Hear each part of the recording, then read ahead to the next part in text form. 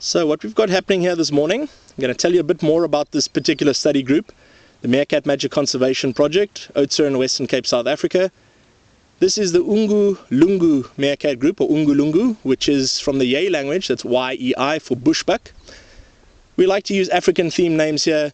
It's much easier to remember names than codes, like female 709, male 308. So we give them common names as well. They all have codes, but we like to give them names too. You can even cast your own vote on our online database if you would like to partake in this. It's anonymous, and then the most popular names ultimately get used. Again, the sounds I'm making are just reassurance to the animals to know that it's me. They're used to the sounds I make. They're not meerkat sounds, just lets them know where I am. Alright, to the right we have the dominant female, born in September 2006, known as Tsabokolodi. Tsabokolodi Ungulungu. Tsabokolodi means millipede in Tswana. And in front of her from November 2008, the sole survivor of last year, the next female in this group who could potentially inherit this group one day as the matriarch, we have Shongololo, which is Zulu for millipede. And then the new dominant male, who arrived here in June this year only, from one of our study groups, busy grooming the newly emerged babies who were born on the 25th of August this year, the first litter from the current dominant female. His name is Bomani, which is warrior. The others who come up, I might tell you more about as they arrive. There are four babies in this litter, and they're doing very well so far. Right, lovely stretch over there. And again, a bit of huddling, a bit of sunning. But even now, when the babies are being huddled, there's one up on guard. All right. I'm going to pause there for a moment and over to you. Please ask any questions you like. Anything. Thank you.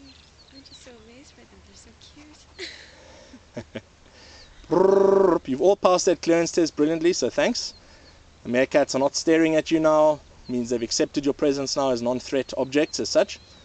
And as we get more sunlight coming up through the clouds, hopefully, meerkats will become more and more active, and then we can see what they go get for breakfast in a while. Still got some that might come up.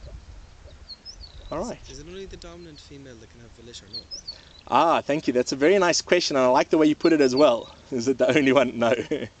There's a great deal of confusion in the media and in textbooks about this.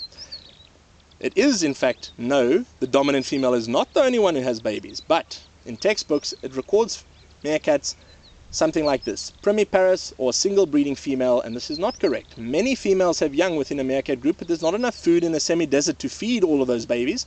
So, what tends to happen is they all help to raise the young together, and that is why meerkats are one of the best known examples in the world of a cooperative sociable breeding mammal. Everyone helps to raise the young mother, father, young, old, unrelated, even. But the reason I'm mentioning this is usually only the dominant female's babies tend to survive. So they all help to raise her babies.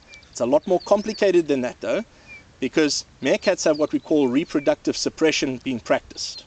The dominant female will aggressively evict or chase out any possible breeding females, and they can reach estrus about nine months in the wild. They could breed six months in captivity, and she'll chase these females out to try and prevent them getting pregnant at the same time as she does to prevent competition. If you look at a banded mongoose, for example, some say they're multiparous, have multiple litters at the same time. They live in the tropics and subtropics of Central and East Africa, for example, big groups. They all have enough food there to raise lots of litters at the same time. It's not a threat for foraging competition, etc. Meerkats, instead, they all help to raise those young. The mother cannot afford to stay behind looking after the babies during the day. She leaves to go get enough energy to lactate, produce milk. Usually, only at the end of the day, she might return to the group, burrow where the babies are. And what's just happened here, there was a little scent mark from Shongololo, that younger female, to one of the babies. Again, the group has got its own scent. Babysitters are animals who will spend up to a day or even two days sometimes without any food looking after somebody else's young. Almost always, it's not their own young, that will be raised successfully, but the dominant females. Genetic research has shown that they get a benefit from raising nephews, siblings, etc. Nieces as well, of course. So, dominant female is usually the only successful one to raise her young, many others have young, and lose these young. That's a very short story of it. When females get evicted, they usually meet up with wandering males. I mentioned migrants, forming coalitions, two or three together sometimes, and then they meet up with females on the outskirts of the territory. When males follow the females, they follow the females because the females know where they're going. If they don't, they'll die. The females are the leaders because they inherit males migrate and lose that knowledge of their territory, leave it behind them. Quite an important point in conservation, just briefly there, because we encourage landowners to protect areas and not plow over burrows, especially corridors from one area to the next where males can then migrate in safety to prevent any problems with genetics within a study group like this. They need to have other groups that can have males migrating into this group at certain times. For example, if the dominant female was to die, the next oldest female will become the leader, probably her, one of her oldest daughters, and males from another group would migrate into the group. If the dominant male died, males would come into this group, dominant female would then mate with the new males. So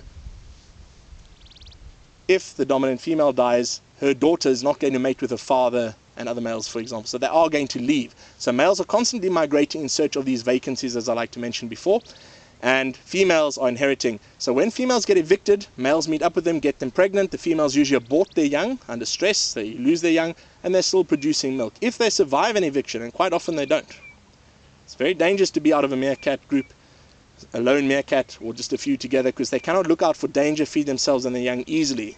Because often the food is beneath the ground, so how do they watch out for the eagle overhead, for example? When they return, they're still producing milk, and if they're allowed back into the group and are very submissive to the dominant female who's already had her young almost always, she will allow them back in, and then her babies will also allosuckle from these allolactating females also producing milk, briefly. All right, so no, it's not only the dominant female that has young. That's the short answer. All right, babies are coming up nicely over there, getting quite a lot of huddling happening as well.